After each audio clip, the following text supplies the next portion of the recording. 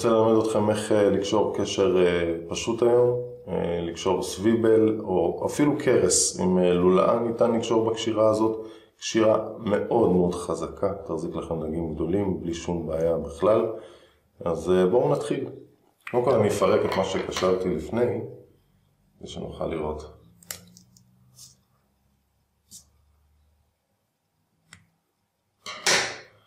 אז יש לי בעצם סביבל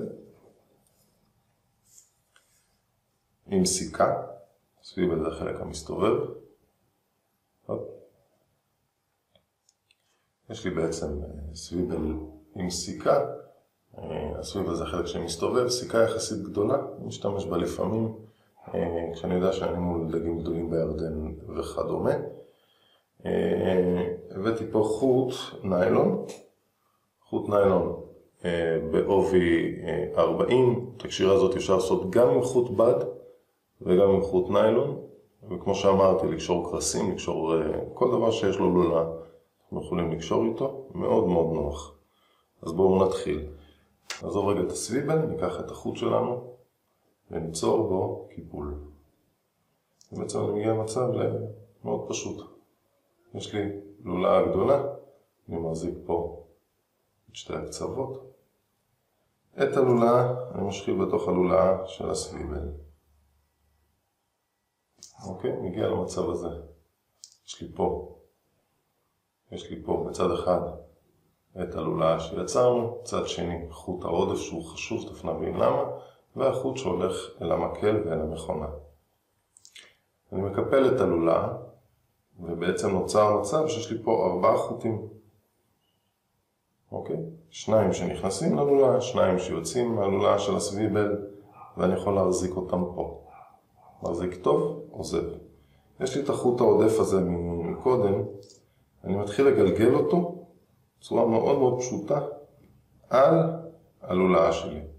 תראו מה אני עושה, אני מחזיק את הלולאה שלי פה באצבע הזאת, ואז מתחיל לגלגל, לגלגל,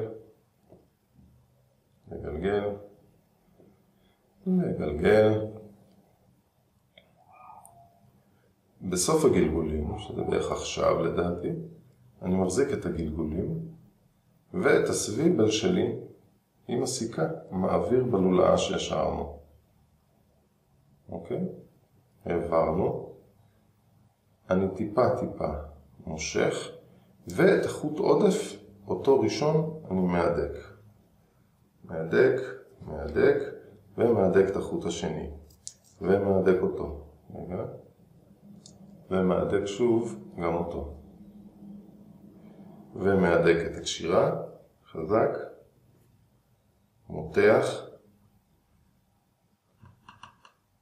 יופי. לקחתי מספיק חזק, ויש לי את הקשירה. קשירה מאוד מאוד חזקה. חותך את החוט עודף,